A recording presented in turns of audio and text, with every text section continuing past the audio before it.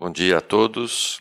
É um prazer tê-los aqui mais uma vez para essa nossa conferência de hoje, com a participação do Tim Hirsch, que é um uh, velho amigo do Brasil, velho conhecido aqui do Brasil.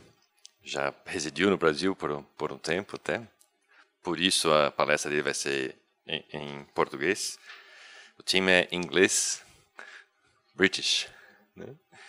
É... Bom, é, então eu queria de novo agradecer a vocês, é, dizer que esse evento é, é organizado pelo Grupo de Estudos em Saúde Planetária, do Instituto de Estudos Avançados.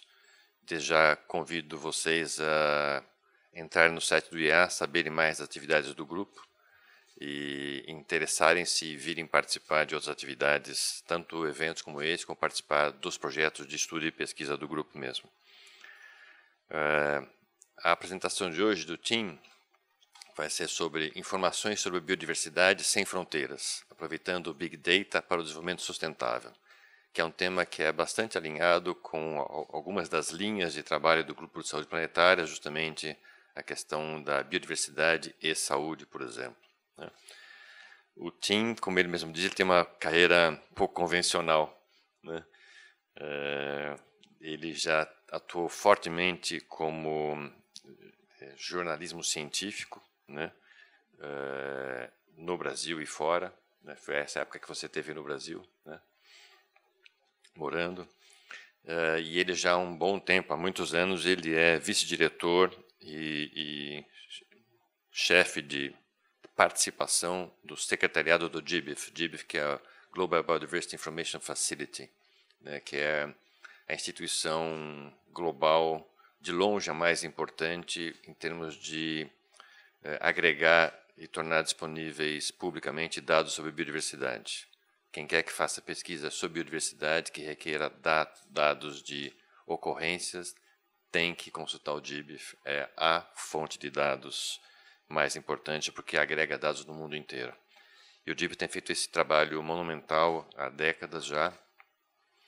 Uh, o Brasil, uh, felizmente, há alguns anos é membro uh, votante do DIBIF, depois de, depois de um longo período de, de tratativas, né, passou por membro associado, né, agora é membro votante, o que é fundamental para o Brasil e para o mundo, né, pela importância do Brasil como é, é, lugar onde a biodiversidade é bastante importante. O TIM também lidera o, a equipe que apoia a rede DIBIF, de, de nós nacionais, é, que compartilha dados de biodiversidade é, e também é, apoia o desenvolvimento de programas de capacity building, né, de, de treinamento e, e de melhoria das, da, desculpa, da infraestrutura e da capacitação local. Como eu disse, o TIM eh, tem uma longa tradição já de contato com o Brasil. É, frequente ele está aqui, a gente, felizmente, sabendo que ele estava aqui, aproveitamos a oportunidade para ele vir falar um pouco sobre o DIBIF. Para quem não conhece ainda, é importante saber, eh, não só como fonte de dados, mas saber como funciona o DIBIF. É importante para a gente saber para poder apoiar e demandar do governo federal, dos vários níveis, apoio, seja a digitalização das coleções, seja a, essa, a, a manutenção dessa desse participação formal do Brasil no DIV, por exemplo. São coisas fundamentais para a nossa comunidade e para a comunidade internacional de uma maneira geral. Então, eh, agradeço a, muito a presença do Tim.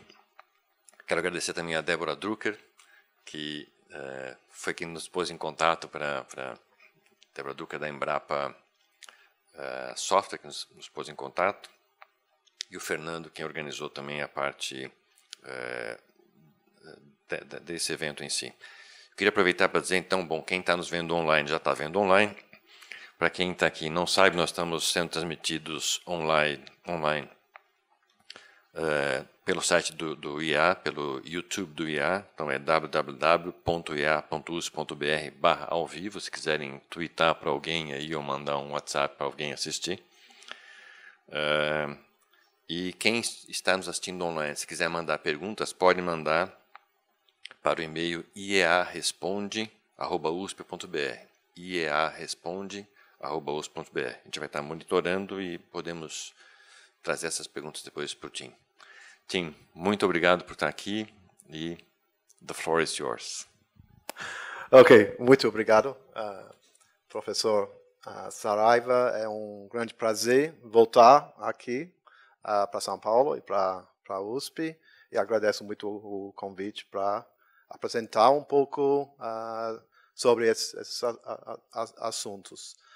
Um, é um, um prazer para mim porque a, a ideia original, a viagem para o Brasil, fui convidado só para fazer uma apresentação na, no Congresso Zoológico do, do Brasil, lá em Águas de Lindóia, mas, de repente, se tornou de.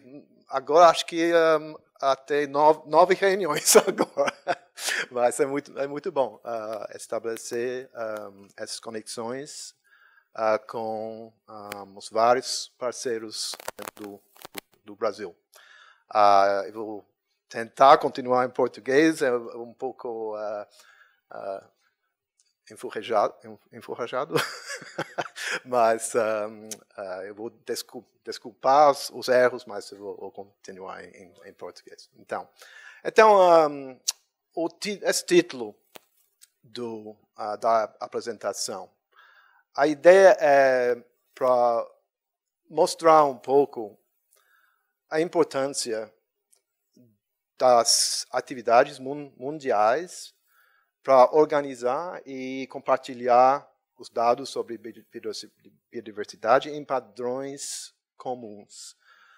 E para mostrar que essa importância não é somente por motivos talvez mais óbvios, por exemplo, as questões da conservação, uh, da proteção de espécies ameaçadas, mas tem usos e tem importância em outras disciplinas também. E, eu vou abordar essa questão, questão um, pouco mais uh, no, no final, na parte final da apresentação. E só para ilustrar um pouco a ideia, um, como provavelmente a, a audiência já, já sabe, tem um, uma série de objetivos Sustainable Development Goals, objetivos do, do desenvolvimento sustentável, é, é isso? Uh, que tem a ver com as conexões entre uh, os, os, três pilares do, do desenvolvimento um, uh, ah, sustentável, que tem a ver com as questões ambientais, as questões econômicas e as questões sociais. Uh, então, eu vou, eu vou mostrar mais no final como o uso nas pesquisas das, dos dados uh, acessados por meio do, do GIBIF pode contribuir a várias partes das, desse quadro de, das, dos objetivos do SDGs. E só lá no, nesse, nesse, no slide agora, um, a, o, a, o, mapa que, que, que, tem lá no, no, lado direito é, um, é uma visão, uma projeção dos dados que são disponibilizados pelo, pelo GBIF. E o que é interessante, talvez para observar, é que esse é um mapa que é muito similar, por exemplo, de um, um mapa das luzes do mundo. Né? Cidades Pode ser também, também os mapas das conexões uh, do, do internet, do, do, das redes sociais. Isso é, é, é, importante ressaltar que ainda tem muitas uh, lacunas uh, nas, nos, nos, dados que agora já são dis, uh, disponíveis no mundo da biodiversidade. É um esforço constante para encher essa, um, as, as, as, lacunas. Então, eu vou, eu vou falar um pouco. Oh, ah, é assim. Primeiramente, só para o que é o GBIF e a maneira como essa rede internacional funciona. E o, e o, tipo, e o tipo de dados que existe nos, nossa, nossa rede. A plataforma mundial, global, uh, quando você entra no site www.gbif.org, isso é a página de entrada. Sempre está mudando as imagens. uh, e a, talvez a primeira coisa para observar é que as, as palavras são em português, né? Uh, mas recentemente uh, nós começaram a internacionalizar o, o interface, user interface do, da, da, rede internacional, um, com o apoio da nossa comunidade mundial. Então, tem um esforço esforço muito grande dentro do, dos nossos parceiros para fazer essas traduções. Uh, é muito melhor do que, por exemplo, contratar profissionais que não não não sabem uh, uh, como traduzir os termos técnicos. Então, isso é o, o resultado, um dos resultados de ter uma uma rede forte e voluntária mundial. Então, um, agora, todos os termos técnicos no, uh, uh, para conferir os, os, dados, agora tem em português, e mais um, os, agora cinco dos seis línguas ofici oficiais da ONU. Falta só um, uh, árabe, mas está tá chegando, e mais japonês e português. Então, Aqui na, na página de entrada dá para ver só alguns dos o resumo do tamanho do esforço em termos do big data de biodiversidade. Por exemplo, uh, até agora tem quase 1,4 bilhões uh, de, de recordes de ocorrência das espécies. Eu vou falar um pouco mais depois sobre o que exatamente isso significa. Mas então, é, um, é uma quantidade bastante, né? Enorme, mas é só o, o início do, do que é possível. Isso é, é, esses dados são organizados em conjuntos de dados. Todo conjunto tem um metadado para uh, descrever o, os, os conteúdos. Um, e es, esses conjuntos de dados são compartilhados de um, uh, quase 1.570 instituições uh, mundiais que um, or, organizam os dados e compartilham um, usando padrões uh, comuns com a rede de GBIF. Um, e o, o, outro número lá, 4.300, é, é importante para nós também, porque é, é fundamental sempre ilustrar e comunicar uh, quais são os usos dos dados em termos aqui da pesquisa. E a gente sempre está rastreando, identificando e comunicando esses usos. Eu vou falar um pouco mais sobre isso depois. É, que bom. uh, então, isso é só a ideia do, da janela front page do, do, um, uh, do GBIF. Em, em termos do, da organização uh, institucional do, da rede, te, oficialmente não, nós somos, não somos um, uma, por exemplo, uma organização dentro do sistema de ONU, é uma coisa independente, não existe nenhum uh, tratado legal, uh, compromissos legais uh, entre os países, mas é uma, é uma colaboração essencialmente voluntária entre governo, governos, por meio de um memorando de entendimento, um memorandum of understanding comum que todos os membros dos países eles assinam. E tem compromissos, mas são, são compromissos de princípio. Não, não tem nenhuma obrigação legal. Uh, foi estabelecida, estabelecido o GIBIF em 2001, então quase, quase 20 anos, e originalmente foi uma recomendação de um comitê científico da OCDE, Organização da Cooperação sobre uh, Desenvolvimento Econômico, OECD em inglês. Mas, uh, desde o início, foi independente do, da, da OCDE. É, é, é, mas, e é aberto para qualquer país para uh, entrar. E dá para ver com a mapa que nossos participantes são muito mais fortes em algumas regiões do que em outras. Uh, principalmente a América do Norte, Europa do, de leste, do oeste, um, Austrália, Nova Zelândia. Uh, América Latina é razo, razoavelmente uh, representado, um, mas formalmente, em termos de governos, tem um desafio muito grande na Ásia, é óbvio, é óbvio lá. Mas isso não significa que não, que não tem participação nessas outras regiões, porque tem várias instituições uh, internacionais, redes, por exemplo, na ASEAN, uh, que participam, mas não formalmente como governos. Outro exemplo é a Rússia, onde agora o governo não participa formalmente, mas tem uma rede crescente, uh, muito rápido, rápido de uh, instituições que já são uh, compartilhando os dados. E até tem um, quase um nó organizando isso. Então, tem uma, um, uma camada formal de colaboração e outra mais, menos, menos formal.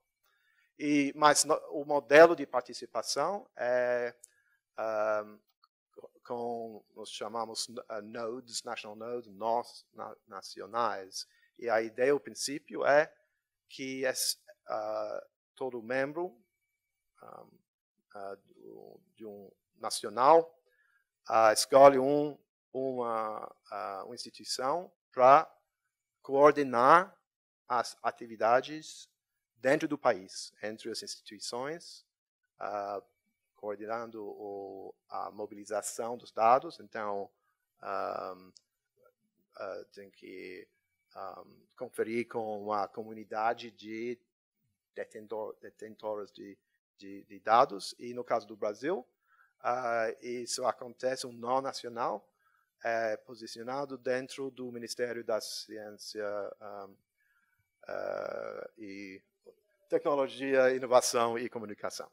Uh, e tem uma, uma, uma organização, um, o título do nó, do, do nó lá é CIBBR, que é o Sistema da Informação Brasileira sobre Biodiversidade Ok, o contrário. Uh, desculpa.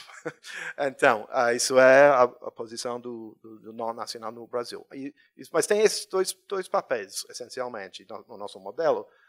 Uma parte é organizar a comunidade, as atividades nacionais, mas também é um nó para colaborar, colaborar com os outros nós no, no, na rede, na, na região, mas também internacionalmente. Então, é uma maneira de uh, mais eficiente para organizar as atividades mundiais. E um, tem uma, um secretariado, onde eu, eu, eu, trabalho, que é baseado, sediado no, na Dinamarca, dentro da Universidade de, Copenhague. Então, isso é a estrutura do, da rede. Um, então, outro, outra maneira de uh, visualizar nossas atividades é uh, com os, os, dados mesmo. Eu, eu mostrei isso no, no, na, na, no, primeiro slide, mas é só uma outra, outra projeção. E observando isso, é óbvio uh, o que tem, onde tem as concentrações maiores e, me, uh, menores uh, dos, dos, dados, em termos só do volume de observações, e coleções de espécimes uh, no mundo. É, é óbvio lá, por exemplo, que os hotspots uh, não são os hotspots da biodiversidade. É, são as áreas onde tem os esforços uh, mais uh, expressivos em termos da coleção e observação. Mas, um, se, por exemplo, a diferença entre essa projeção agora e o que você ia observar até cinco anos atrás, melhorou bastante. Principalmente, por exemplo, a América Latina. É muito mais representado do, do que uh, antes. E até a Rússia tem, tem, tem mais, mais dados do que, do que antes. Mas mesmo assim, é óbvio onde, onde tem as lacunas. Então, aqui é só um resumo dos alguns dos dados. Nós temos agora 59 um, participantes dos, dos, governos nacionais e mais 38, 38 organizações internacionais que também são associados do, na rede. Uh, e outro número maior lá é 39,8 bilhões. Isso é só o volume dos recordes que são pedidos todo, todo mês, no meio, por mês, por mês. Uh, e isso exclui, por exemplo, os pedidos de todos os, os dados, porque isso, isso, acontece também. E alguém, um pesquisador, pesquisador só quer baixar todos os 1,4 bilhões de recordes. Então, é só, isso é só para mostrar o, os, um, o, o, desafio, desafio técnico, técnico, como organizar todos esses, esses volumes de dados com um, uh, buscas complexas, uh, escolhendo qualquer combinação de dados que tem que, tem que ser muito ágil. E então é importante organizar isso de uma maneira um, ágil. Né? Uh, isso é muito das atividades técnicas que acontecem no, no, no central, no, no, secretariado, são um, avanços sempre desenvolvendo os sistemas para lidar com esse, esse volume de, de, de dados. É. Sim, sim. Não é, não é porque o volume, o tamanho dos, arquivos, por exemplo, dentro do GIBIF não é muito grande, porque uh, basicamente o sistema lida com só texto. Uh, mas uh, tem que ter uma, um sistema potente só para, um, em, em, termos do, do processo de um, entregar os, os, os dados. Um, então, em termos do, do Brasil, só para dar um, uma ideia, agora tem mais de 14 mil milhões de recordes da ocorrência de espécies.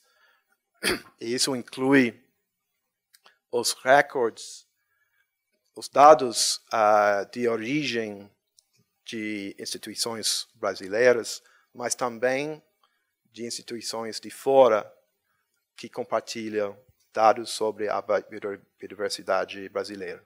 Então, isso é a combinação, combinação desses dois uh, duas, duas categorias.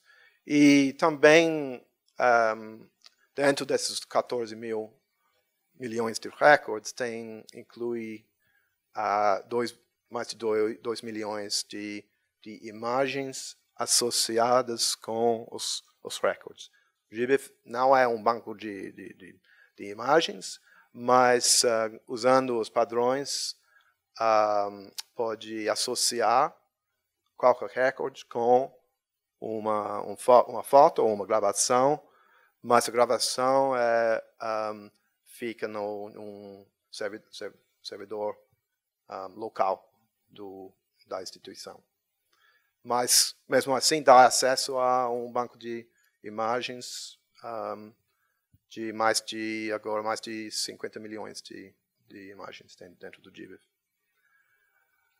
Então, eu vou, eu vou falar só um pouco o, o que, os, as, sobre as fontes, o, qual tipo de evidência uh, é a origem dos dados um, incluído na, na, incluídos na, na, na rede do, do, do.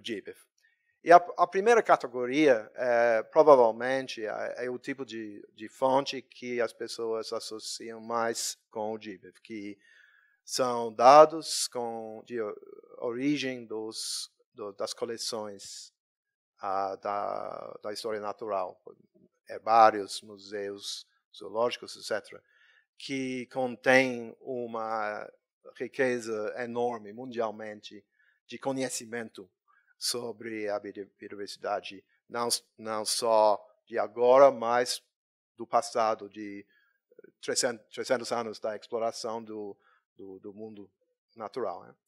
E, basicamente, a ideia é, você começa, por exemplo, aqui tem um exemplo do Jardim Botânico do Rio, uh, que uh, compartilhou e, ainda com, compartilha dados sobre as, as, coleções do herbário lá, de mais de 700 mil ocorrências. E lá no mapa é um sumário onde, uh, onde são as, os pontos de coleção de todos esses, esses dados. E lá embaixo dá para ver as imagens também dos espécimes, dos, das folhas do herbário.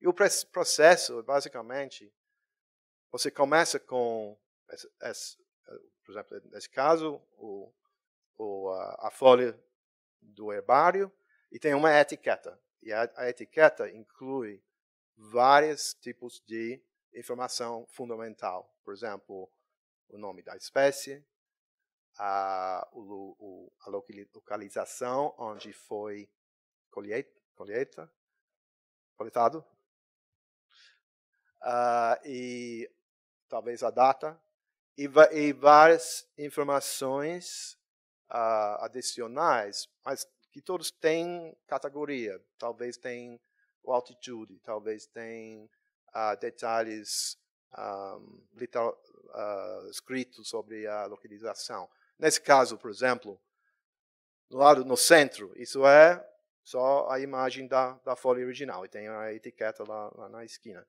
E à direita é, são só alguns dos, dos partes da informação usando os, os termos de padrão Darwin Core um, para resumir a informação da etiqueta. Por exemplo, no caso, isso, isso é só a parte da localização.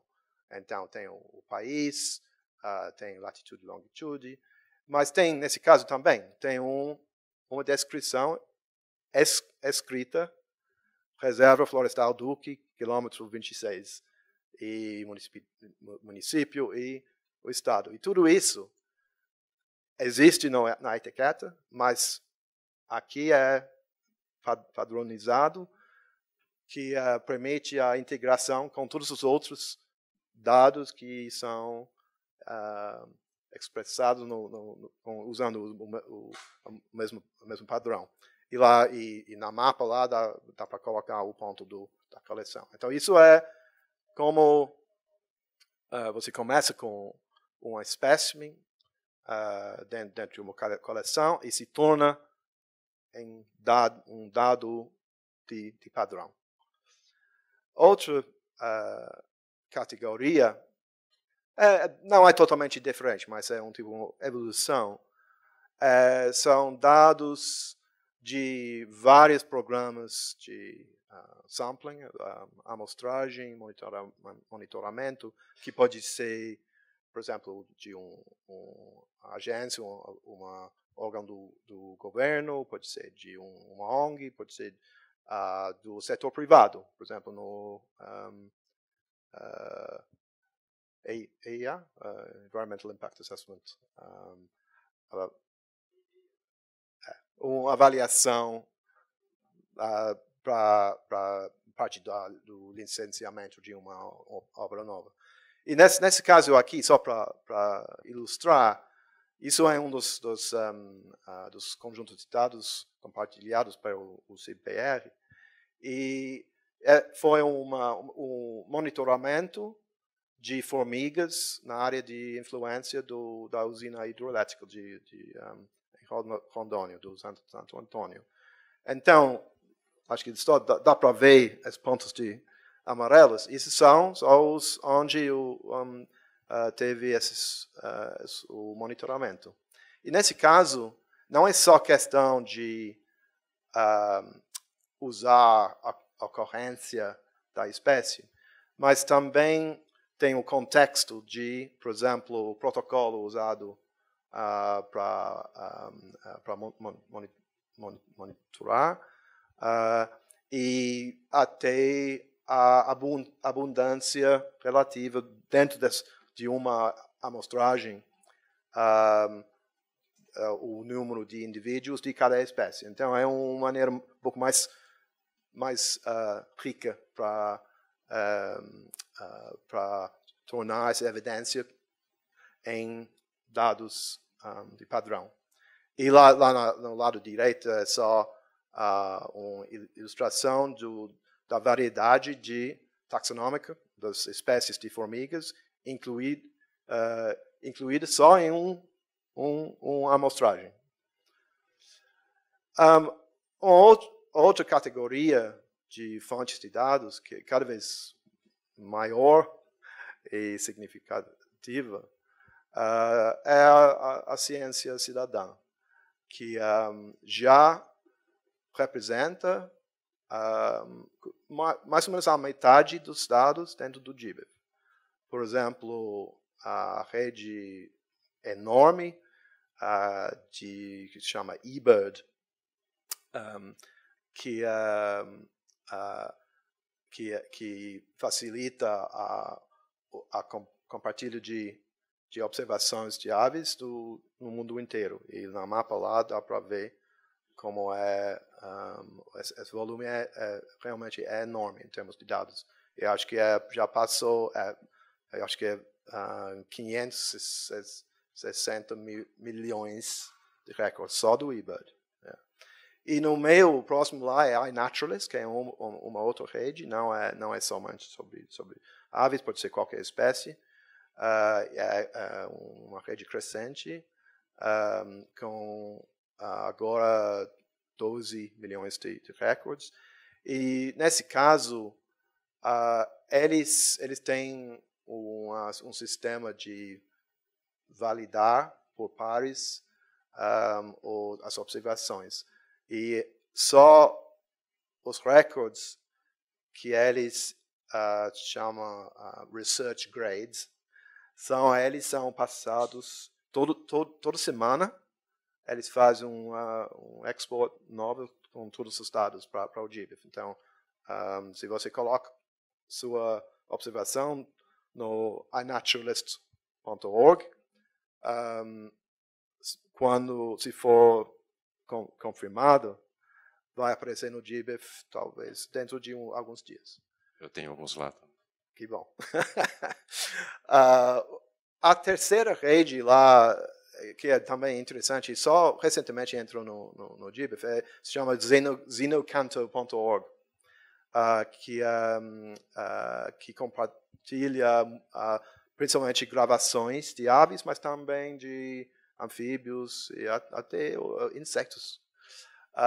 e todos esses, agora, todos esses um, gravações que têm um, informação espacial e temporal também, uh, eles são compartilhados pra, com o GBIF e, uh, com, e, e, com links para os, os, sons também. e não sei se dá para ver, mas eles, eles compartilham também os sonogramas dos sons como imagens dentro do GBIF. E finalmente, só para ilustrar, tem vários projetos mais específicos da, da ciência cidadã. Por exemplo, aqui, uh, Mosquito Alert, que é um, um projeto na Espanha uh, para incentivar um, o, o, público um, para compartilhar uh, imagens do Aedes mosquitos, do Tiger, tiger mosquitos, que, que estão chegando à, à Europa agora. Sim. Então, mas isso é, é, é isso realmente é ciência cidadã, mas um, uh, em termos reais, né? porque é, é um projeto para um, que tem um objetivo específico. E tudo isso pode ser compartilhado usando as, os, mesmos, os mesmos padrões do que das coleções, por exemplo. Uh, e são mais, mais dois, duas fontes pouco mais novas, mais inovativas. Uh, um que agora é, muito, é, é ainda em, em, desenvolvimento, mas já tem bastante uh, uh, conjuntos de dados com essas fontes. São recordes de ocorrência onde a evidência fundamental é um, uma sequência de DNA. E tem, por exemplo, os conjuntos de, base, uh, de, de, dados grandes como o GenBank, a EMBL no, na, na, Europa, que tem quantidades enormes de sequências e tem muita informação associados, associada com as sequências que, que até agora não está sendo usado. Por exemplo, a, a, a localização e, e a data de coleção. E tem que ter uma referência para associar essa sequência com nosso um, taxonomic backbone. Uh, Barcode of Life também? Não, não, it's, this, this is, yeah, Barcode of Life é, é, é um, um, um, exemplo. Mas o desafio é como, se você começa com sequência, tem que ter uma referência para saber, por exemplo, essa, essa sequência de um, pode ser um microorganismo, pode ser um, um mamífero, uh, qual é a posição da árvore da vida para organizar esses dados. E isso é o, o trabalho que uh, já avançou, avançou bastante. E esse é só um exemplo de uma rede que se chama Magnify, que faz, que uh, junta muitos um, uh, conjuntos de dados do, da metagenomic mostragem, amostragem da metagenômica, ou seja, você pega só um, amostragem de pode ser de água ou de solo e você não precisa de identificar os organismos individuais, mas só com o DNA, DNA incluído no, na amostragem, você pode analisar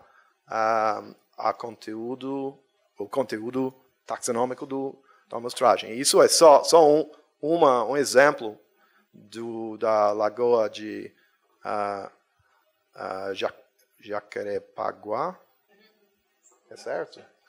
Um, que um, que entrou, então, essas sequências, essas sequências entrou na rede do Magnify, Magnify compartilhou com, com o GBIF, e dá para ver, no lado direito, a, a, variedade enorme de, principalmente, bactérias, incluídas só nessa, amostragem. Então, é uma maneira de melhorar e aumentar muito a variedade de grupos taxonômicos, por exemplo, incluído, do, incluído no, uh, no GBIF. E isso tem um, um potencial enorme.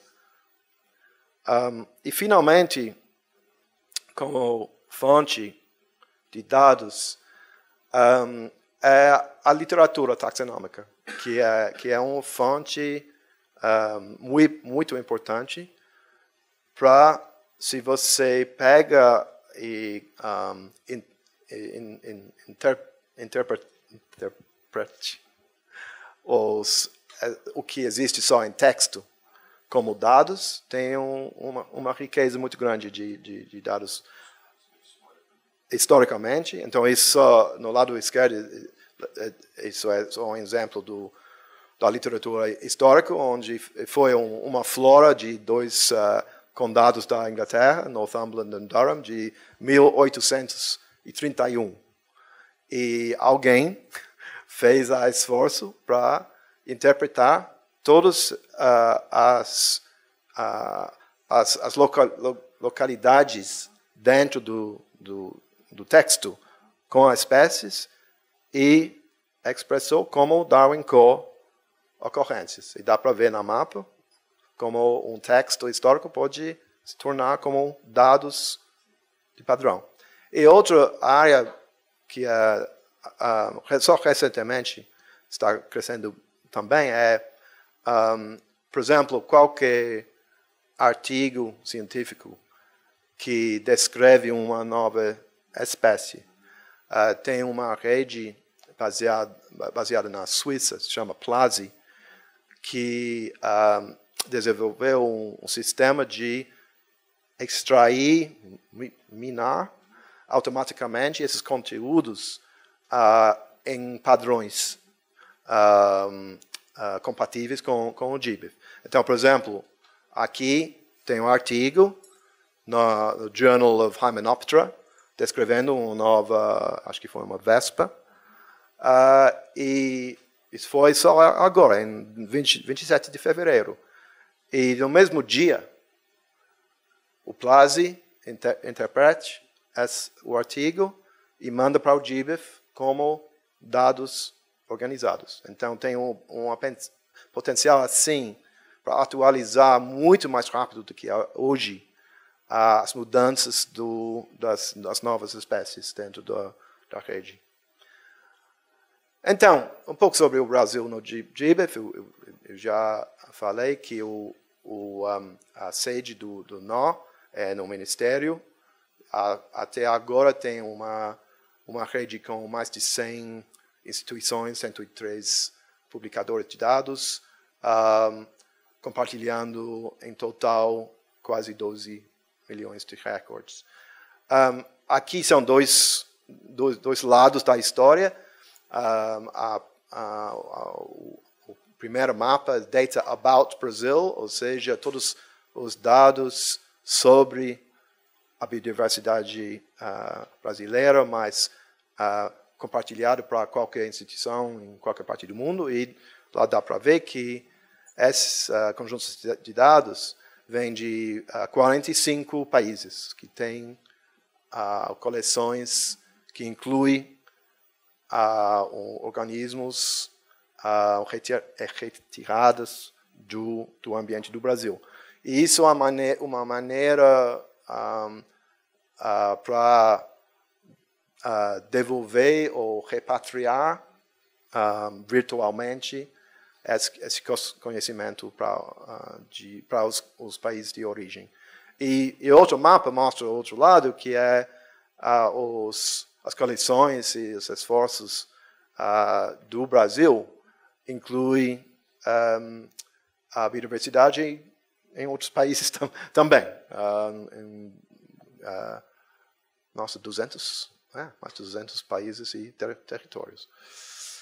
Um, então, e recentemente foi uh, lançado um novo plataforma, nova plataforma uh, pelo CBPR, um, que usa uma ferramenta de, de, portal de dados originalmente de, uh, desenvolvido pelo, na Austrália, que chama Atlas of Living Australia, mas agora se tornou um, um uma comunidade internacional com parceiros, principalmente nós do GBIF, que reutiliza todo o, o, software, os codes, um, para uh,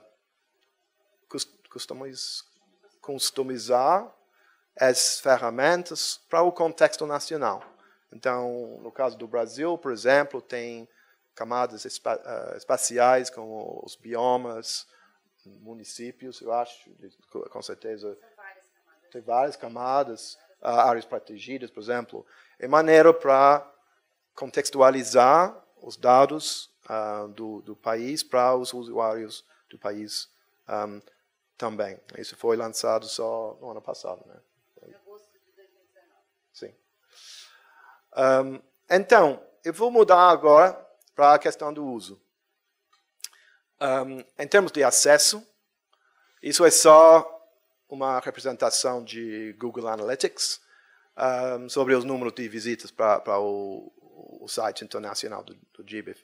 E lá dá para ver que o Brasil tem um lugar importante. Um, nesse, nesse caso, é o quinto país do mundo que visita um, o, o site. Mas com isso não não dá para saber quantos dos visitas são uh, só visitas pra, de curiosidade e quantos são uh, usos de verdade. Então, uma outra maneira de, de olhar é os, os, downloads. Então, só o número de pedidos de downloads uh, no mundo. Em, isso é em 2009. Uh, isso não, não tem a ver com o tamanho do download, é só o número de, de pedidos. E lá dá para ver que o Brasil tem o quarto lugar. Isso é uma indicação de uso mais, mais ativo. Né? Uh, e é, é, só depois do, do México, Estados Unidos e a China.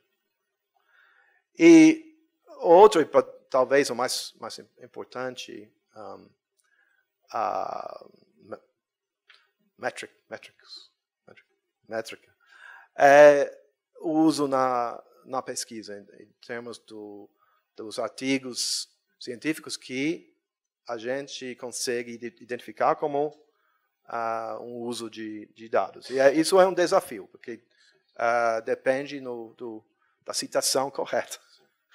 Uh, mas até agora, no ano, no ano passado, por exemplo, a gente identificou um pouco mais de 700 artigos citando o GBIF.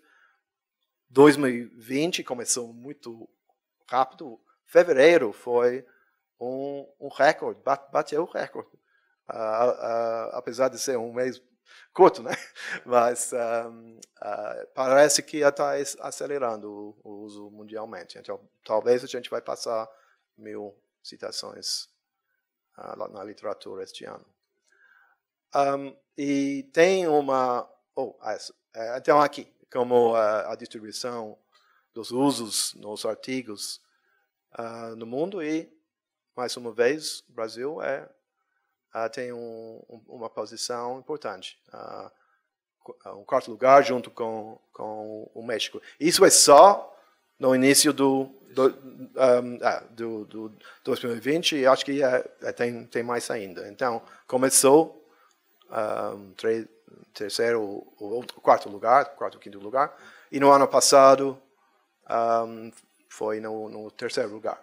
Então, na, uh, em qualquer, usando qualquer métrica, um, Brasil é um super user do, do GBIF. E nós temos, todo ano, nós uh, publicamos um, uma, uma, revista, mas é, é só um, um resumo um, para ilustrar os tipos de, de, uso que a gente observa na, na, na, pesquisa, na literatura. E eu tenho alguns exemplares, um, não, eu acho que talvez está para todo mundo aqui, mas um, uh, para quem está acompanhando virtualmente, tem um link também que é só gbif.org uh, uh, slash barra, desculpa, uh, barra Science Review. Tá. E, uh, e, mas tem também um, um banco de dados, um, um, bibliografia ao vivo que você pode usar para filtrar por país, para um, para assunto, etc., para um, para olhar os, os tipos de, de, de, usos que, que tem em qualquer ano. E uma coisa muito importante para um, comunicar a importância da citação correta. Porque um, sem isso, os esforços do, dos provedores de, de, de, dados que estão investindo na digitalização uh, é, é, é muito importante mostrar, comunicar como o valor dessa atividade para os, os uh, provedores de, de, um, de dados. E nos últimos anos, acho que foi quatro anos atrás, mais ou menos, começou, Gibi começou a criar DOIs, dois, uh, Digital Object Identifiers, não somente para todos os conjuntos de dados, mas para todos os downloads. Então, quando você pede uma, um download, com o download, quando, quando é, um, é entregue no, no, no seu uh, no seu e-mail inclui um DOI que sempre vai voltar para essa, uh, essa combinação de dados que você pediu.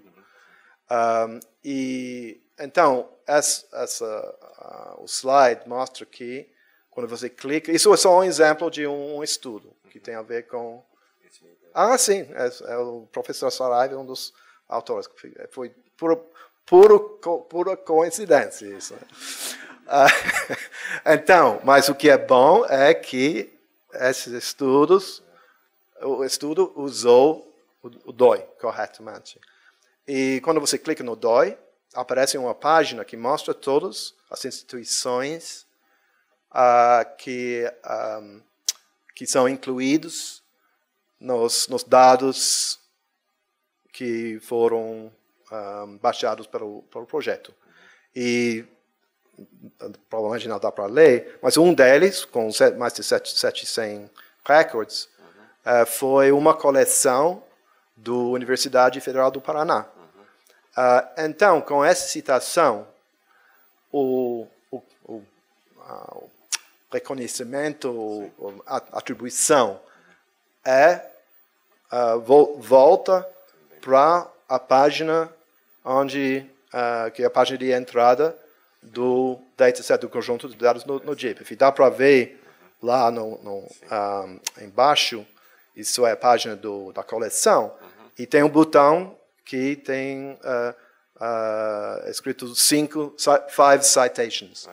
E quando você clica nesse, nesse botão, você vai ver todos os estudos que, que citaram esses, esses dados. Então, é uma maneira de um, uh, devolver o crédito um, do, dos usuários para os provedores. Então, é por isso que é muito importante site da DOI. Né? Um, então, eu vou terminar uh, nessa, nessa questão das conexões do, dos usos na pesquisa do GBIF com esses objetivos, a questão de desenvolvimento sustentável, mas que é mais do que a conservação. Então, isso é só, um, um, só alguns exemplos, tem muito mais em todas as categorias. Mas um, a parte do, dos objetivos, talvez mais óbvios, que tem a ver com os dados de biodiversidade, são número 14, número, número 15, um que é que tem a ver com a vida nos oceanos, uh, e outros a, a, vida terrestre, life, on, life below water, life on land. Então, uh, provavelmente é óbvio que nesse caso tem um, uh, um estudo que nós destacamos do Brasil sobre usando os dados para avaliar um, como as áreas protegidas brasileiras pro, protegem a natureza, a biodiversidade brasileira. Então, nesse caso, eles usaram uh, mais de 600 mil um, ah, uh, recordes de ocorrência por meio do GIBA para fazer essa análise. Claro que tem muitos estudos que têm a ver com conservação, áreas protegidas, espécies, espécies ameaçadas, etc. Mas tem também, por exemplo, a questão da, das uh, mudanças climáticas, que é outro objetivo do SDGs, Climate Action. E tem muitos estudos, muitos deles também têm a ver com conservação, mas são as questões de conservação que considera os, a situação não somente agora, mas as condições no futuro, usando os cenários da mudança climática. Então, esse é, é um exemplo, uh, uh, de novo, do, do Brasil, analisando as, as, as estratégias uh, tomando em conta a, a mudança climática uh, na questão de conservação dos mamíferos da Amazônia. E no lado direito, nesse slide, um, é um, um, dos artigos no, no Science Review uh, deste ano. Um, foi, teve um, um, estudo muito grande da, da Inglaterra que usou uh, mais quase 4, 4 milhões de, de, de, recordes do GBIF para analisar a diferença no efeito sobre a distribuição de um, milhares de espécies entre um aquecimento de 1,5 graus com, com, com uh, comparado com um aumento de 2, 2 graus. Então, isso é fundamental para ver a diferença, dos efeitos. Então, isso foi uma maneira onde toda essa variedade de dados uh, disponíveis dentro do GIBIF ajudou nessa questão fundamental sobre a, a, a política um, do, a, do, da mudança climática. as conclusões sobre os efeitos, a importância de diminuir ou, ou limitar o aquecimento global, você precis, precisou todos esse, esse esforço de compartilhar os dados para chegar a essa, essa conclusão. Outro um, exemplo de, temático de, de, de uso, dos, uso dos, uh, dos dados tem a ver com agricultura e segurança alimentar. Tem vários estudos, por exemplo, que usa todos os dados disponíveis sobre os, as plantas que são parentes selvagens das lavouras, uh, um, importante para a nutrição um, do mundo, uh, para analisar quais são as áreas mais importantes para proteger, para proteger os recursos genéticos do futuro. Uh, e aqui tem só um exemplo, outro exemplo, uh, ah, nesse caso não é, não, não, não é no Brasil, foi uma equipe internacional.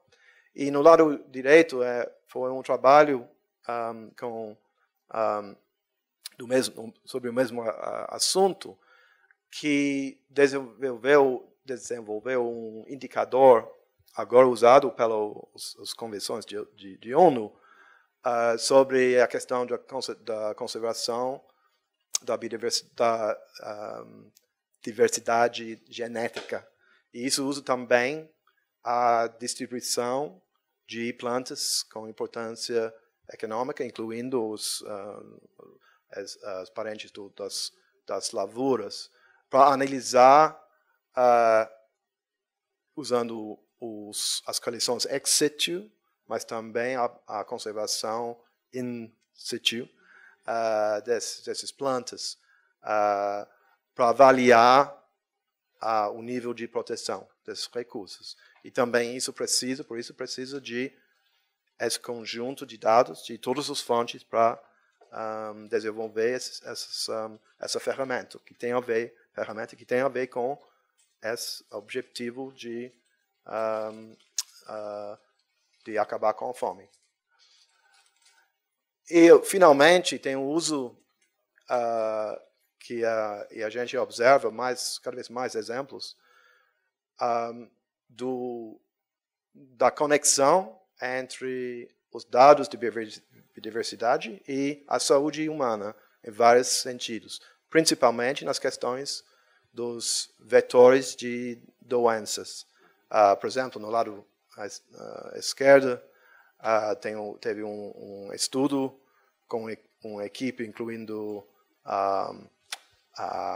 pesquisadores brasileiros sobre as mudanças, as mudanças da, da distribuição do, do mosquito que que é um, uh, que causa dengue e outras doenças. E também nesse caso uh, o objetivo do, da pesquisa foi sobre a, a saúde humana, mas uh, depende de dados sobre a biodiversidade compartilhados usando os mesmos padrões. E no lado direito tem outra categoria uh, que também tem a ver com do, doenças, que, por exemplo, usa dados sobre mamíferos, como nesse caso, uh, morcegos, que são uh, uh, identificados como a espécie de onde que são reservatórios de vírus quando o vírus pula de, de um animal para o humano. E, obviamente, agora estamos vivendo essa, essa, situação com um vírus que provavelmente tem origem no, nos, um, animais na, na China, nos mercados. Então, esse tipo de estudo que usa, mais uma vez, dados sobre biodiversidade que foram, que têm origem, que tem nada a ver com a saúde humana. Pode ser só observações do, de, de um uh, do iNaturalist. Mas essas observações e esses dados ajudam, nesse caso, um, para chegar um, uma, um, a uma avaliação de risco sobre as áreas um, onde pode uh, aparecer um vírus ou outro. Então, isso só são algumas ilustrações como esse, o tipo de, de dados de biodiversidade tem a ver com outras áreas de desenvolvimento uh, sustentável. E tem outra categoria, pode ser isso, uso, uso de biodiversidade sobre a vida extraterrestre. Você acha que pode ser? É sim.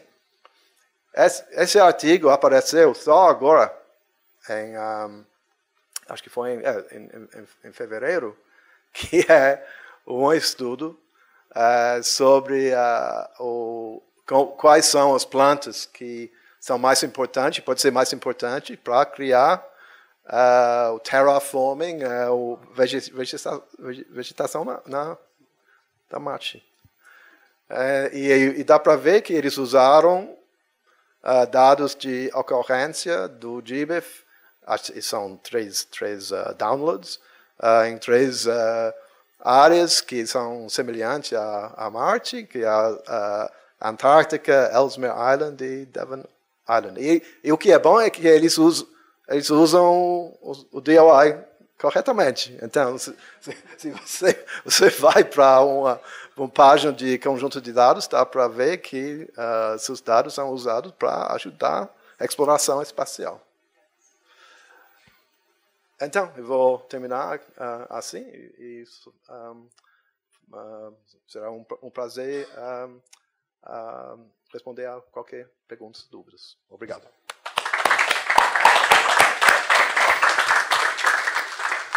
Muito obrigado, Tinha. Foi excelente. Né? Acho que você deu uma visão geral desde.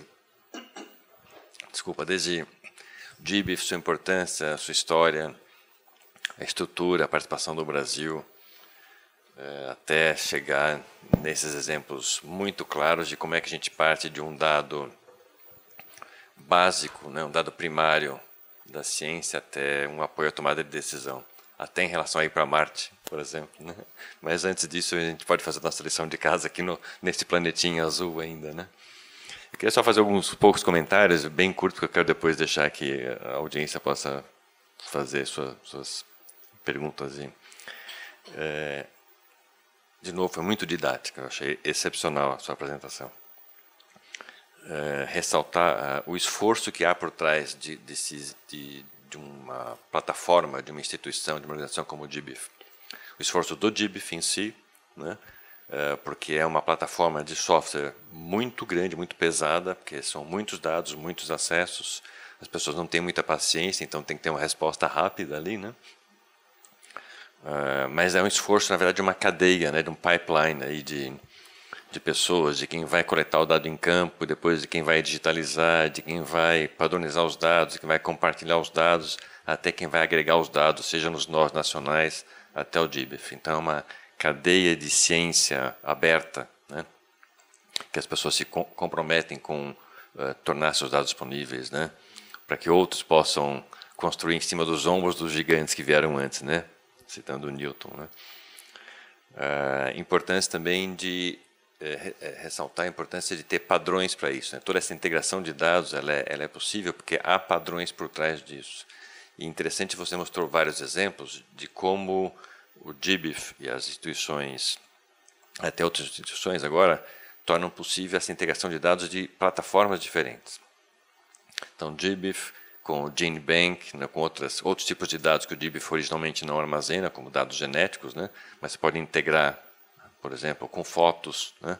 Então, se você não tem padrões para isso, fica muito difícil. Não é impossível, mas pode se tornar impossível na prática. Né? E o padrão ajuda demais isso. E a história toda do DIBIF, da construção do DIBIF, é, se tornou possível por conta da existência desses padrões. Eu vou até aproveitar para fazer uma, uma, pequena propaganda aqui, que muitos desses padrões vieram de uma outra comunidade que é, é super afim do desde sempre, que é o TDWG. A gente chama de TEDWIG, que é originalmente o Taxonomic Database Work Group, mas que hoje a gente chama de Biodiversity Information Standards, que é quem desenvolveu e mantém o, o Darwin Core Standard que o, que o Tim mencionou. Tudo isso trabalho voluntário, então é importante que essa comunidade, vocês saibam disso, saibam da importância, valorizem isso, citem o DOI, né? mas também se envolvam a ponto de participar dessas comunidades de digitalização, de desenvolvimento de padrões. Né? Uh, o Tim também uh, ressaltou bastante a importância do Brasil, né? e como o Brasil tem sido um usuário pesado, um heavy user. Né? Isso é interessante, porque por muitos anos, antes do Brasil uh, se juntar ao DIBIF, havia uma preocupação, um discurso até, né, em alguns níveis, né, de que uh, nós vamos entregar dados né, para ser pirateados. Né, uh, e uh, aí está a resposta, ou seja, a gente está entregando dados, sim, nós estamos mais usando do que entregando, talvez. Né? Ou enfim, tanto faz, é importante você fazer uso. Né? O Brasil é o terceiro, quarto usuário ali. Isso é super importante. Ao mesmo tempo que mostra que a comunidade de, de pesquisa brasileira é importante se ela está fazendo uso, é porque ela tem capacidade de fazer. E está publicando bastante também. Uh, e também outra coisa que eu acho importantíssima é que o, o, o DIB cada vez mais tem resolvido isso, é a, a, questão de atribuição de créditos. Então ele mostrou naquele exemplo que a coleção do Padre Moure é citada num trabalho da, que a Cris Janine é a primeira autora, eu estou lá de coautor, cita a coleção Moure e aquilo vai aparecer como crédito para a coleção Moure. Isso é fundamental para a coleção, porque a coleção precisa de pedir recursos para, para o CNPq, para Fundação Araucária, que era do Paraná, etc. E para aquilo ela precisa justificar a sua importância. E hoje em dia, em particular, a gente está precisando justificar a importância da ciência. Não só no Brasil, é um fenômeno mundial da ciência sendo colocada em, em xeque. Qual a importância da ciência hoje em dia? Né? É uma situação curiosa, mas é meio cíclica e acho que no mundo inteiro passa por isso hoje. E nada melhor do que você ter esses dados, como o DBIF tem, para mostrar a importância né, de uma coleção, de um trabalho de base, mas também uh, mostrar que esses papers podem resultar depois em políticas, em ações né, que a sociedade demanda. Né? O paper é muito legal para a comunidade científica. Agora, quando o paper vira uma ação uh, de saúde, uma ação de nutrição, de alimentação, de mitigação de mudanças climáticas, aquilo impacta a população toda não só um impacto entre os pares científicos, né, cientistas. Então, só esses pequenos comentários assim, só para ressaltar a importância do DIBIF como o ponto superior desse, dessa rede que, que agrega dados do mundo inteiro, que agrega, tomando o ponto superior de uma rede de colaboração que vai desde quem vai a campo coletar dados até quem participa de todo o processo aqui de digitalizar, compartilhar, etc e parabenizar pela excelente apresentação, além tudo muito bonita como sempre, né? muito muito colorida. É vantagem de fazer apresentação sobre biodiversidade que é, pode ser muito bonita. Né? E agora eu queria abrir para vocês, para perguntas, e também quem está assistindo a gente, se tiver alguma pergunta, pode mandar para o iaresponde.uspbr.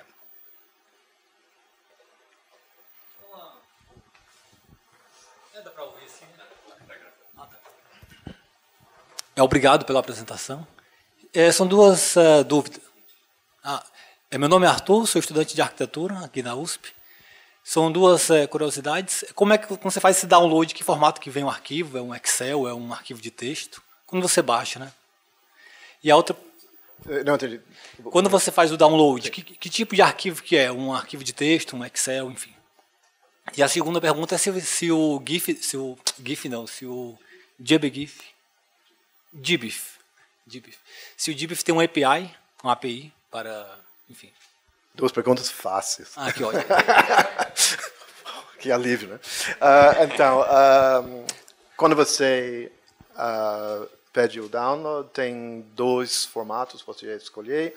Um que é CSV, que é o básico, seu, o texto, e, e outro que é como se chama Darwin Core Archive, ar, arquivo de Darwin Core, que é só um forma, formato um pouco mais, mais, mais complexo, uh, você pode escolher um, um dos dois. Mas é, esse, esse é o formato exatamente usado para um, compartilhar os, os, dados, mas você pode escolher um, um, dos dois. Mas tudo é texto, é só, é, basicamente é, é, é, texto. E sim, tem o API, que é totalmente aberto, livre, e, uh, de fato, todos os dados usados no site do GBIF vêm do mesmo API. Então, uh, tem um registro central que, uh, uh, que crawls, busca, que pega todos os, os dados novos constantemente dos provedores e organiza como um API para um, disponível e a gente usa para organizar os dados no, no, portal e qualquer pessoa pode e tem, e tem uma página uh, no site que tem todos os detalhes técnicos como usar o API. Okay. tem um ali. Opa, é, parabéns pela apresentação. Eu sou o Jailson. Quando você falou é, dos dados de ciência cidadã, por exemplo, você falou que eles são selecionados lá pelo nível de confiança deles antes de serem transferidos para o DIBF, certo? É, além disso, o DIBF em si, ele implementa algum outro, algum outro processo de verificação de qualidade e tal para garantir a confiabilidade dos dados? para os dados gerais, não só para os de ciência cidadã. Ok, é, é uma boa pergunta. Uh, em termos do, das redes da ciência cidadã, cada um tem, tem um sistema um, um pouco diferente que eles descrevem.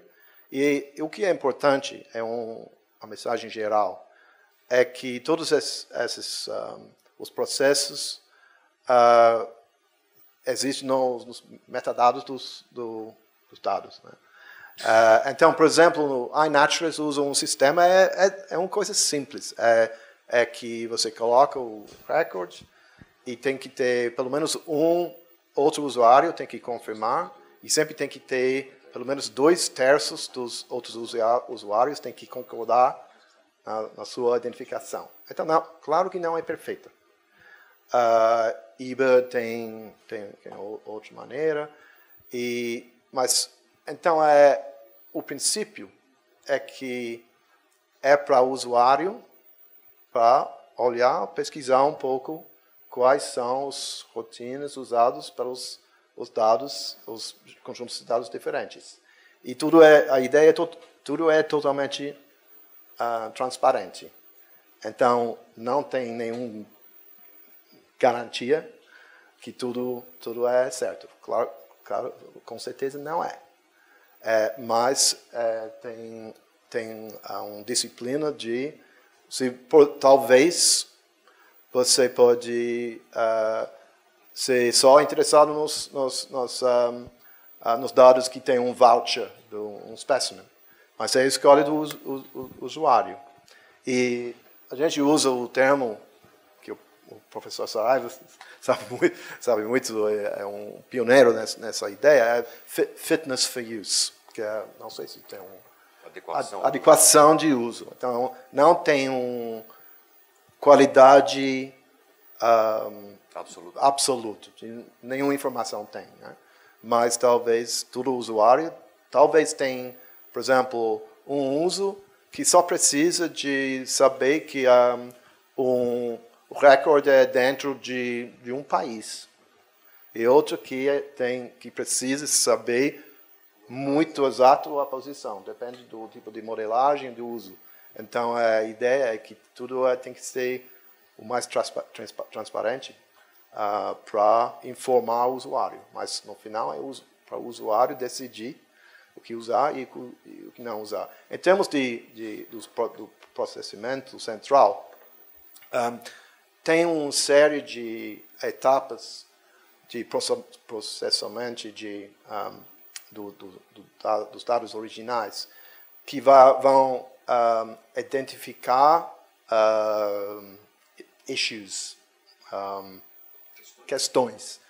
Uh, por exemplo, talvez uh, se o, o, a posição de acordo com a latitude e longitude não corresponde ao país que é escrito no, no, no mesmo, no, no mesmo dado. Então, nesse caso, a gente não vai mostrar isso na mapa. Ou se é, é muito óbvio, vai invertir os latitude e longitude, porque ah, muitas vezes isso é problema. Uh, mas tem, tem várias, tem uh, dezenas de questões assim que automat, auto, automaticamente vai aparecer nas, no, no, no, nos dados. Então, e isso é uma um, ah, maneira não somente para o usuário observar problemas potenciais nos dados, mas para o provedor também. Ele pode usar essas ferramentas para ver antes de publicar. Ah, provavelmente tem um problema aqui com as latitudes. Então, tem, tem os dois lados. Tem os processos automáticos para identificar essas uh, questões e também tem um feedback. Uh, o, o, usuário pode comunicar, ah, acho que isso é, provavelmente é um lugar errado e isso vai, a gente vai ajudar em comunicar para o, o publicador do, dos, dos dados. Então, não, não é um... A gente, claro, com um, uma equipe de 20 pessoas na Dinamarca, a gente não vai, um, vai, vai corrigir os erros com 1,4 bilhões de records, né? Mas é, só tem um, um sistema Uh, e, e, tem, claro que, que, que tem muito espaço para melhorar essas etapas também, uh, mas é, é, mais ou menos assim. Que, ok? Bom dia. Bom dia. Tudo bem? Meu nome é João, eu sou aqui da Universidade de São Paulo, trabalho no, no Departamento de Ecologia. É bem conveniente a sua pergunta, porque a minha é relativamente parecida, que diz respeito à confiabilidade dos dados. Uh, no ano passado, no prêmio Ab Nielsen de vocês, Uh, um dos terceiros colocados tem um programa que trabalha justamente com a confiabilidade dos dados, que é o Naturalist. Ou seja, tem o iNaturalist, da Ciência Cidadã, e tem esse programa que ganhou o prêmio lá do Web Nielsen, que é o Naturalist. Uh, pelo que eu entendi, esse Naturalist, ele atribui níveis de confiança de acordo com o que o usuário define. Uh, e talvez para esse tipo de coisa, para deixar isso padronizado para todos os dados, se adicionar uma coluna mais nos dados providos pelo GBIF, é, adicionar para cada linha o nível de confiabilidade atribuído por esse programa. Parece que é simples de usar, eu não cheguei a utilizar ainda, mas se conseguir uma, uma rotina de sistematização para fazer isso para todos os dados que vocês têm, óbvio que é muita coisa, mas eventualmente vocês conseguem prover os dados com um nível de confiabilidade atribuído a ele. Então, esse pode ser um projeto futuro para o GBIF para resolver esse problema e para deixar com que pessoas que não tenham familiaridade com todos os taxos, por exemplo, consiga olhar para isso e falar, tá, beleza, eu vou usar só aqueles que têm o maior nível de confiabilidade, que são aqueles que são de museu, checado por, por especialistas, essas coisas. Uh, bom, a minha pergunta era se existia algum plano de atribuir esse tipo de, de, de dado nos dados que vocês provêm. Que é mais ou menos o que ele perguntou, se tem, Aparentemente tem o automático, mas enfim. Uh, a segunda pergunta é sobre o fato de você ter dito que o GBIF agora tem uma rotina de atualização das bases com base nos artigos publicados, de distribuição, enfim. Uh, e aí me veio à cabeça que muitos artigos de distribuição, algumas vezes são resumos da distribuição de uma determinada espécie, e aí está reportando dados da literatura ou dados de museu que já haviam sido publicados antes. E isso me gerou a dúvida sobre se existe algum procedimento para cuidar da redundância dos dados. Então, eventualmente, alguém publicou lá um artigo com um voucher número tal, aí, alguns anos depois, a outra pessoa foi fazer um resumo da distribuição de uma espécie e cita de novo o mesmo ponto para o mesmo bicho com o mesmo voucher. E aí a minha dúvida é se existe algum tipo de curadoria para evitar redundância com isso, baseado nisso. Ok, a primeira parte, um, uh, de fato, o, a equipe do professor Saraiva um, uh, tem um, uh, te, teve propostas muito similar do que você uh, sobre que tem a ver com os fitness views, que tem algumas medidas comuns que que pode ser usado para um usuário que só que por exemplo tenha um requerimento específico sobre a um, o, a precisão de, de dados. E, tem, e, e acho que um, eu, eu, não sei exatamente onde a gente vai com, com esses um, uh, os, os, projetos, mas com certeza tem ideias muito interessantes, como uh, esses um, a aspectos da qualidade podem ser mais melhor comunicados.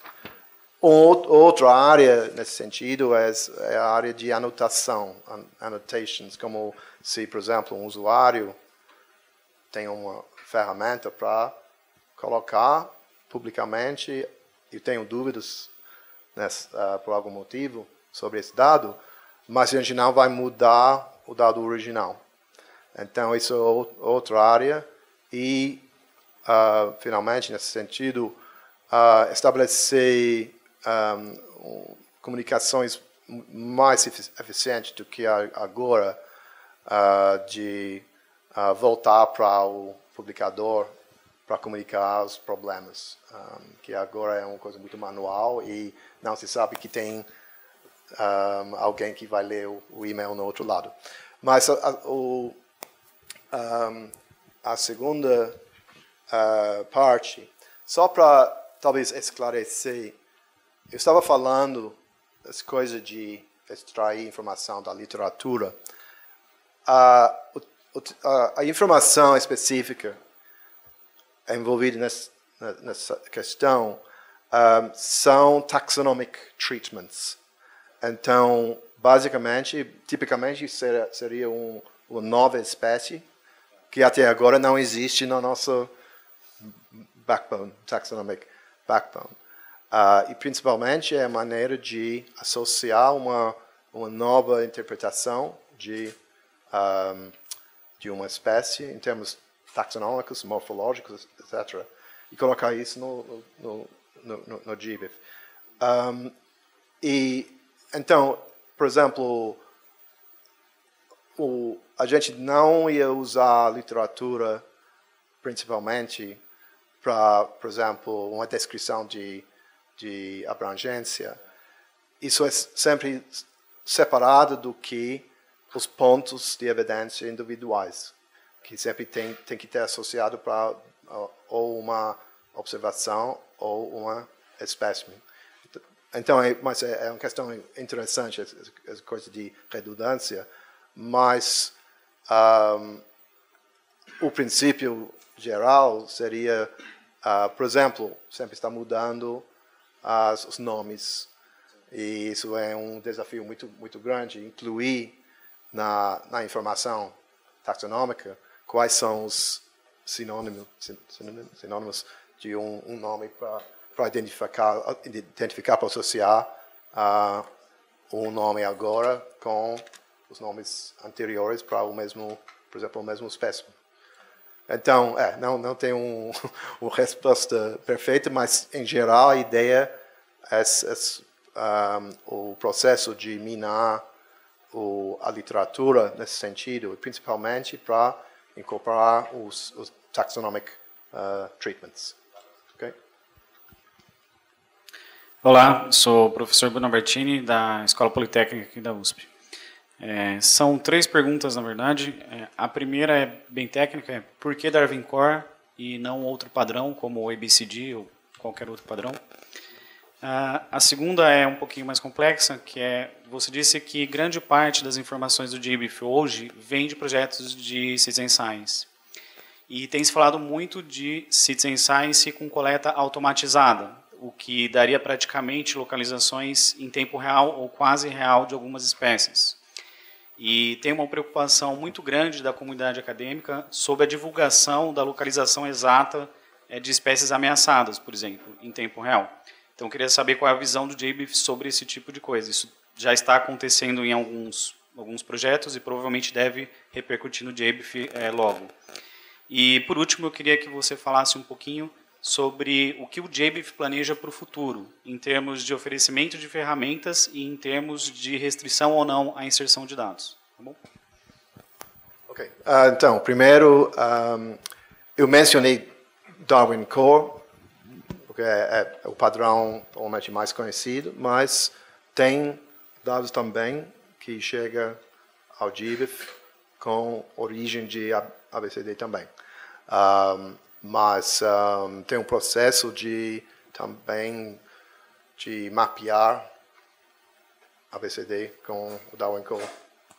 Um, eu, eu, não sou expert nesse, nesse, assunto, mas eu sei que uh, tem porque tem vários padrões também para um, os protocolos de, de exchange para publicar os dados uh, que um, não não tem só um, um padrão tem que acomodar vários padrões. Então, a, a BCD é, uh, é usado também, mas só olhando os, um, a divisão de, de, de, dados agora, a proporção, Darwin Core é, é a, a, grande maioria dos, dos, dados, mas não, é, não exclui a, a BCD. Segunda parte, questão de preocupações sobre um, dados uh, sensíveis. Né? Um, tem o sempre é, é a escolha do provedor de, de dados. Tem, tem opções para generalizar a posição se tem um uh, ou se é considerado um risco, por exemplo, na questão do, do, de uma espécie ameaçada ou talvez um, uh, um, uma espécie com muito valor econômico. E, e tem um manual descrevendo as considerações, como você vai equilibrar os riscos de algum um, dano contra as vantagens, uh, compartilhar os dados com a precisão um, uh, que permite, permite a, a análise mais, uh, mais efetiva. Tem por exemplo, iNaturalist tem uma política um, universal, que é, mas é, é, do lado deles, não, não, não de, do GBIF, que qualquer uh, observação de um, uma espécie ameaçada, e, e, eu acho que é uh, a partir de uh, near threatened, quase ameaçada, uh, eles vão generalizar a posição até, eu acho que é 15 quilômetros, mas é, um, eles não vão colocar o ponto exato de espécies identificadas como ameaçadas. Então, tem alguns, tem uma variação entre os, um, as, as redes, mas um, tem, é, com, com, certeza é uma, é uma preocupação e tem, tem vários artigos sobre, sobre isso mas, em geral, a responsabilidade desses assuntos um, fica na, na, no lado do, do, do provedor. Se, por exemplo, se alguém vai para o GBIF e observa um, uma, um ponto, uh, uma, uma record que é, é considerado um, um, risco grande, é, sempre tem a opção para retirar o, o, um, os, os records. Então, não tem, um, não tem uma, uh, uma resposta perfeita, mas, em, em geral, tem, um, tem uh, um, guidelines, diretrizes, uh, como, como as considerações nesse, uh, dos, desses riscos. E o terceiro a terceira questão, nossos planos para um, novas ferramentas. Foi um, uh, eu acho que uma coisa que é uma, um, uma prioridade uh, para as, as, nós, mas a, a, comunidade em geral, e como baixar o uh, threshold, technical threshold. Um, é, o, o nível, como facilitar o processo de compartilhar os dados, porque com certeza uh, também é um equilíbrio, né? porque a gente um, GBIF não aceita dados de individuais. É sempre tem que ser, tem que ser uma instituição, pode ser uma rede também, um, cadastrado uh, e aprovado para, o, para o nó, ou a comunidade do, do, do, do GBIF. Um, e, mas, uh, mesmo assim, um, tem, por exemplo, para um, um pesquisador individual ou para uma instituição com baixa capacidade, um, sempre é, mais, é, é possível uh, prover ferramentas um, para agilizar essa compartilha de, de dados. E um, porque a gente sabe que sempre tem um é um processo para convencer o pesquisador ou uma uh, uma companhia uh, do setor privado uh, para fazer o esforço para compartilhar os dados. Então a gente está um, avaliando como podemos um, facilitar o, esse processo de compartilhar os dados, porque nós sabemos que isso é uma uma barreira. Se se tem menos, se precisa, precisa menos esforço para fazer isso, provavelmente um, os resultados seriam melhor.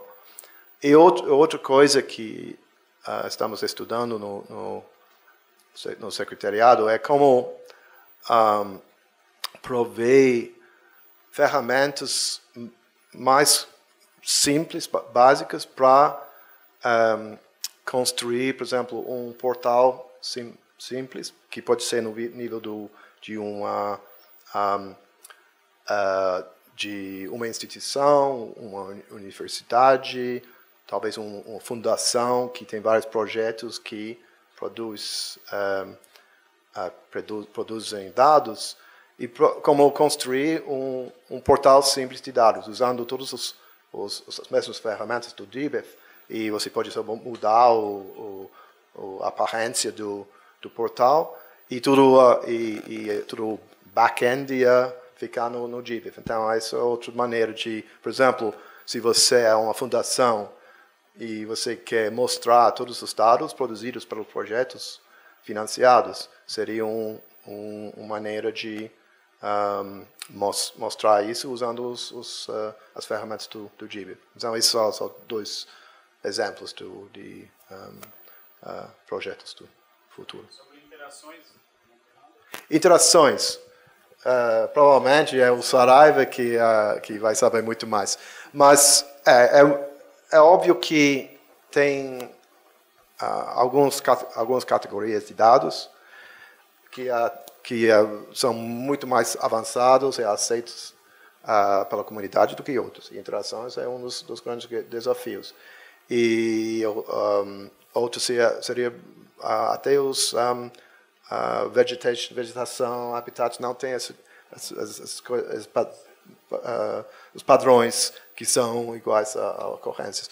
Então, eu diria que tem tem GBIF e tem a, a comunidade maior que a, a Saraiva já já mencionou, o Biodiversity Information Standards. Em geral, um, o, a prioridade de GBIF é continuar aperfeiçoar as coisas uh, que um, que já funcionam, mas tem que fun funcionar melhor. O risco é se o GBIF tenta uh, sempre achar as coisas novas para fazer, uh, vai diminuir a qualidade do, dos serviços de hoje. Mas tem um papel também que é, acho que é, que é uma, coisa, uma posição esperada uh, da comunidade, que o DIB vai facilitar, pelo menos, essas colaborações, essas discussões entre a comunidade maior uh, para estabelecer novos padrões. E uma vez, talvez, quando tem um, um progresso nessa questão de interações, é, provavelmente é, é um momento para ver como isso pode ser integrado do, da infraestrutura do, do GBIF. Mas uh, agora não tem planos específicos para acomodar interações. Obrigado pela palestra, sou Tiago Francói, da USP Leste. É, na verdade, eu me interessei bastante pela ferramenta que você comentou de uh, análise em cima de outros bancos de dados, como, por exemplo, o GeneBank, pra, como fonte de informação.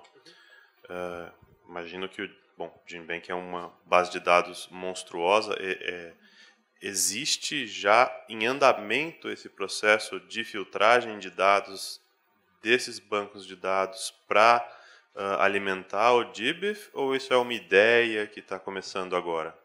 Já está acontecendo. Não, com Gib, com GeneBank não, mas com o EBI, que é o European Bioinformatics Institute, que é a que é a parte europeia do mesmo uh, colaboração internacional, já tem vários um, bancos de dados. O Magnify, que mostrei, é um deles, desses. E tem, tem várias um, maneiras de, de fazer isso. Nesse caso do EBI, por exemplo, eles, eles já têm toda a informação, uh, eles já fizeram a identificação para a espécie mais, mais próxima à, à, à sequência. E eles estão compartilhando tudo isso agora. Então já existe isso. É, é por isso que que, que tem as, as uh, imagens do análise da bactéria do, do, do rio. Tem desafios porque, uh, um, por exemplo, esses uh, alguns dos, dos dados uh, metagenômicos do, do oceano de repente a gente estava vendo plantas e mamíferos de, dentro do, do, um, uh, do, dos, do, do conjunto de dados. E tem a ver, tem a ver com a parte do, do genoma, genoma que é, uh, é usado. Então, e, e, então tem, tem, acho que já, já, já, já, fizeram algumas etapas para melhorar isso. Mas tem outros, outros um, uh, uh, desenvolvimentos interessantes. Por exemplo, tem uma rede de uh, bancos de dados de fungos que se chama Unite, uh, que eles, eles, fizeram muitos um, uh, análises de sequências de, de, fungos e eles eles usam, de fato, eles usam dois DOIs para expressar operational taxonomic units. Então, não espécies, mas só um grupo de, de sequências que tem uma similaridade de x, x%. Então, isso tem um, um código que eles inventam. E agora, eles já trabalharam com a nossa equipe de informática e todos esses códigos uh, foram incluídos in, in, incluídos de nosso, dentro de nosso taxonomic backbone. Então, agora, uh, os pesquisadores, usando esses, códigos, eles, eles nem, nem precisam usar o nome. Uh, é só com esse código vai aparecer no GBIF e vai ser organizado como, por exemplo, vai, vai ser um, não um subspecies, mas um, um nível taxonômico embaixo do, da espécie, só com esse código. E o que é interessante com um, um dos resultados é, por exemplo, tem um banco de dados muito grande do, dos cogumelos da Dinamarca, e dentro da mesma espécie dá para ver a distribuição desses OTUs, só usando uh, os, a, a, essa integração de sequências. Então tem uh, tem muito muito mais a fazer, mas é e, e outro a terceira área grande é integrar os uh, uh, barcode of life database. Então isso é, é, acontecendo, não, não é somente um, uma ideia. Olá, obrigada pela palestra. Meu nome é Sheina, sou pós-doc aqui na USP. E eu queria voltar um pouco para a questão de qualidade dos dados, que é uma grande preocupação nossa. Queria saber é, se existe algum esforço de tentar é, fazer um treinamento de pesquisadores, estudantes, para que a qualidade dos dados seja assegurada antes de entrar nessas, nessas bases de dados, porque muitas vezes, é, durante a formação, por exemplo, eu sou bióloga, não tem é, essa informação sobre o que é um standard, o que, que é um metadado, então talvez informar sobre essas coisas básicas influenciasse na qualidade dos dados previamente à entrada. E uma segunda pergunta é: eu vi que o iNaturalist tem uma backbone taxonomic tree é, sendo curada por vários especialistas é, em um nível taxonômico muito bom e está sendo é, curada em tempo real. Existe uma conversa entre essa essa árvore e a do GBIF? Então, uh, primeiro, a primeira uh, uh, pergunta, desculpa, me lembro, foi só palavra. Foi sobre o treinamento, treinamento e qualidade sim, de dados. Sim. Então, a gente tem uma série de, de cursos usado para capacitar nós, nós e também projetos que são financiados pelos vários programas do GBIF, por exemplo, para mobilizar os dados de coleções ou de pesquisas. E isso inclui questões básicas da qualidade de, de, de, um, uh, de dados, uh, organizar os, os, os, dados e usar os padrões, idealmente, exatamente isso, para evitar e para aperfeiçoar os dados antes de chegar ao DIB. Isso é claramente é o ideal, que esses um, os problemas são identificados antes de, de, de aparecer. Uh, e um dos, dos, dos papéis dos, uh, dos nós, idealmente, é para ajudar nisso, porque como no, globalmente é, tem um limite como a gente pode fazer uh, em termos de cursos. Mas um, então isso com certeza faz parte de do treinamento na, na compartilha de, de, dados, essa questão de data cleaning e, e qualidade de dados.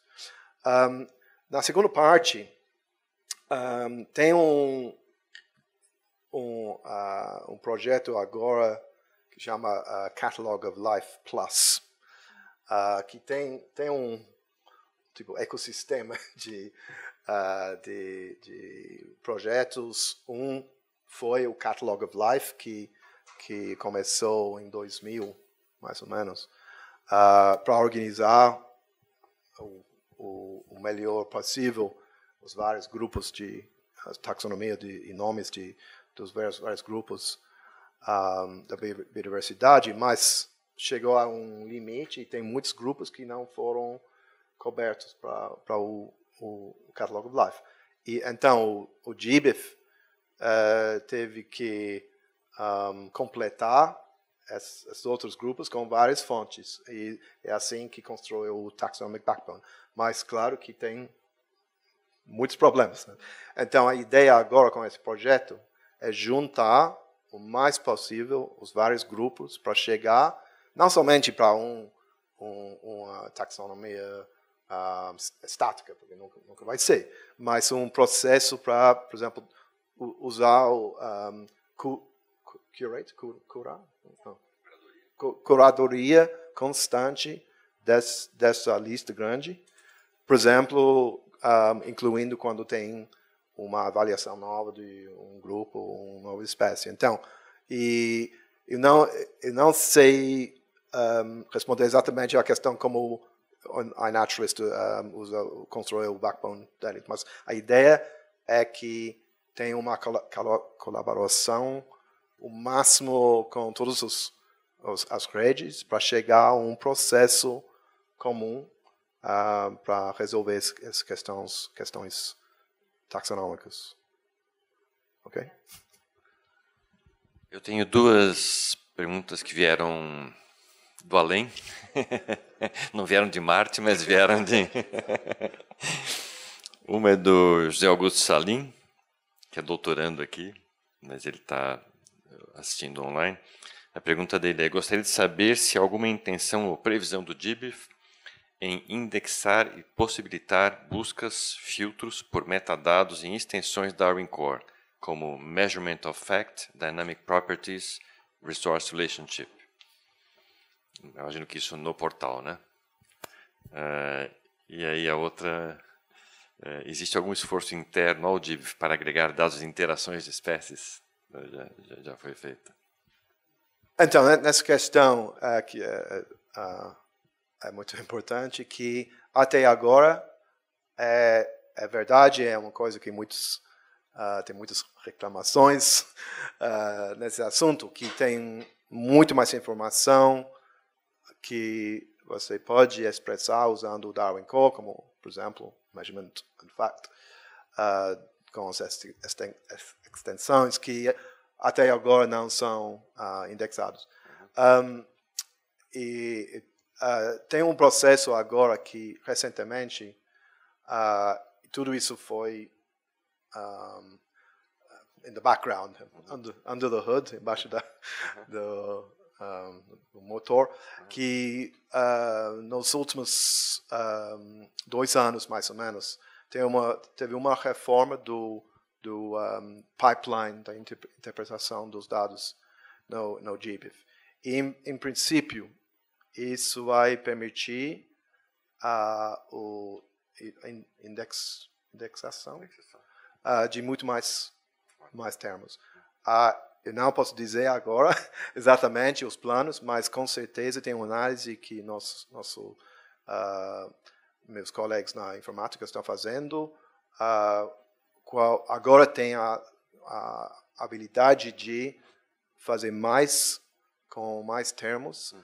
mas uh, tem que tem que ver agora uhum. quais são os, os, os próximas etapas, acomodar mais mais termos. Mas watch this space. É uma coisa interessante, só para é, adicionar isso, eu tive numa banca de mestrado, acho que há uns dois anos, no Jardim Botânico do Rio, em que o aluno fez uma análise muitíssimo interessante a partir de dados de uh, identified by. Então, a partir da, da, da, análise dos dados de quem identificou a espécie, ele conseguia traçar uma árvore de relações entre as pessoas. Né? do tipo professores, seus alunos, instituições. Então, o meu aluno foi trabalhar em Belém do Pará, ou isso, aquilo. Uh, só, não só isso, mas outra, outras também. Né? Então, a especialidade, se um grupo é mais especialista ou mais generalista, né? muito interessante. Mostra que o universo de dados que a gente tem no Darwin Core ainda tem muito mais a ser explorado. Né? Eu fiquei surpreendido, surpreso com aquela com a dissertação, muito interessante. Sim, e, e, e tem, um, tem um projeto uh, que agora é um tipo um esforço freelancer de um colega David Shorthouse do Canadá, sim, sim, provavelmente sim. você conhece ele, que uh, se chama uh, Bloodhound. Uh, vale a pena olhar. Blood, Bloodhound, que é o cachorro de -huh. caça. Né? caça. E a ideia é, acho é mais ou menos isso, que estão usando, por exemplo, para os, os pesquisadores atuais pode usar o ORCID ID para uhum. identificar, Sim. mas eles estão também resgatando identificadores do, dos uh, cientistas taxonomistas do passado também. Sim, sim. E mapear uhum. um, to, todos os as, a collect, uh, recorded by and uhum. identified uhum. by. A uhum. ideia é uh, e, e tem planos para integrar de uma certa forma um, esse processo dentro do GBIF também. Uhum.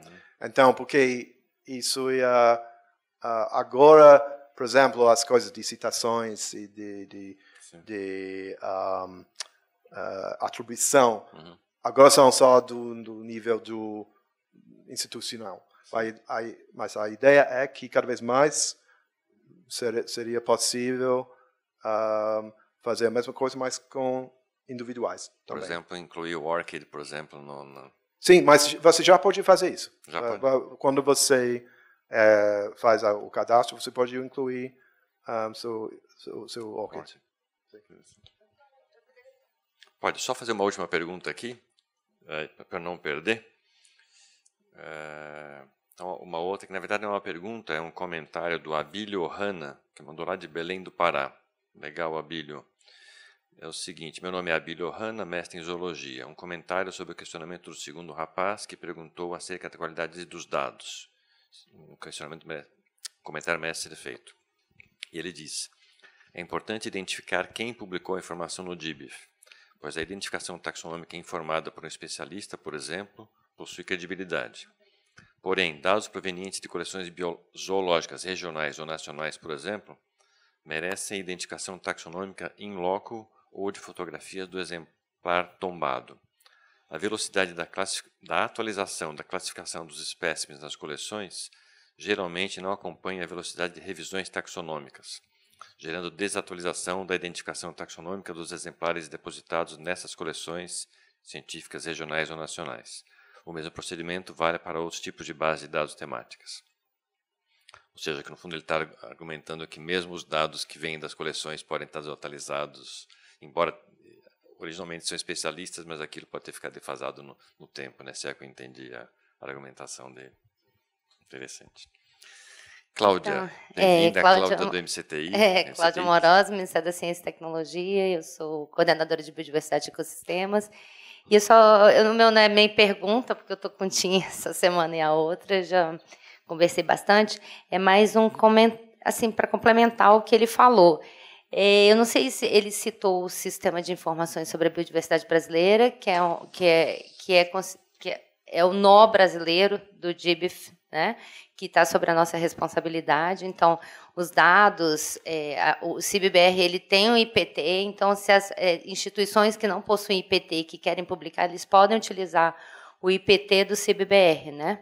E com relação à qualidade dos dados, a gente em 2014 a gente lançou o CIBBR, só que a gente não disponibilizou para não abriu, Aí o que acontecia? A gente sempre queria estar com os dados bem corretos para poder abrir. Aí chegou um ponto que a gente falou assim: não, vamos lançar. E com o tempo, as, os próprios curadores e as próprias pessoas que depositam os dados, elas veem os erros. Lá tem um, a gente usa o, a plataforma ALA, né, que é Living in Australia. Agora é, se chama, antes era Atlas of Living in Australia, agora é só Living in Australia. E eles e lá tem uma classificação, quando está vermelhinho, está dizendo lá que é, o dado não está confiável. Então, dá para ver onde que o dado não é 100% ainda, mas as pessoas estão corrigindo por.